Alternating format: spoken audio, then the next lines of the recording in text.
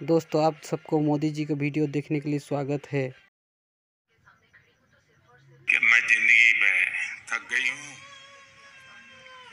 मैं जीना नहीं चाहती हूँ तो मैं काकरिया तालाब में कूद करके मर जाऊँगी। अब सुबह देखा, बेटी घर में नहीं है तो बिस्तर में चिट्ठी मिली तो पिताजी को बड़ा गुस्सा आया। मैं प्रोफेसर, इतने साल मैंने मेहनत की, अभी भी बोले कांकरिया स्पेलिंग गलत लिख के जाती है।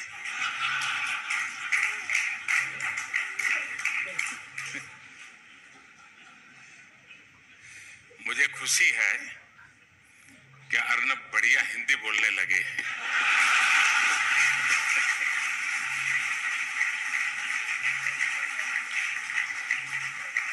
आ, उन्होंने क्या बोला वो तो मैंने सुना नहीं, लेकिन हिंदी ठीक है कि नहीं, वो बराबर ध्यान से सुन रहा।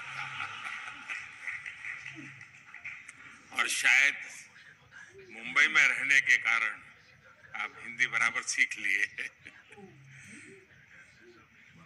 साथियों, आप सबके बीच आना स्वाभाविक है का आनंद होता है अगले महीने रिपब्लिक टीवी के छह साल पूरे हो रहे हैं। मैं आपको बधाई दूँगा। आपने नेशन फ़र्स्ट के अपने मिशन को डिगने नहीं दिया।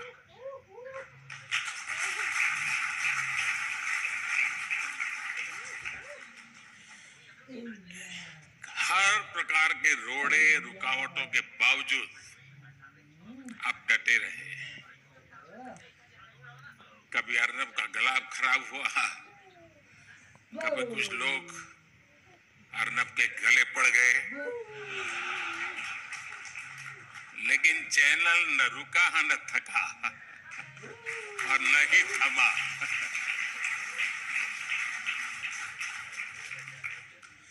साथियों 2019 में जब मैं रिपब्लिक समिट में आया था तब उस समय की थीम थी इंडियाज मूवमेंट और इस थीम की पृष्ठभूमि में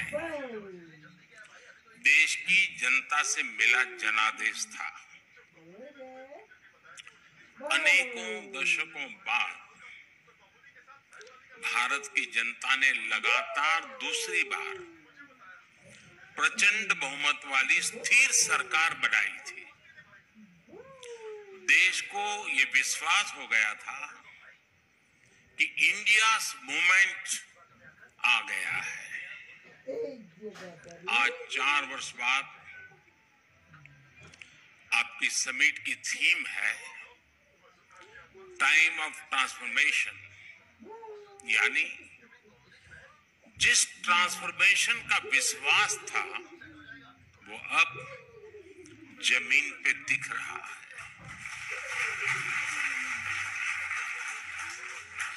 साथियों, आज देश में जो बदलाव आ रहा है, उसकी दिशा क्या है?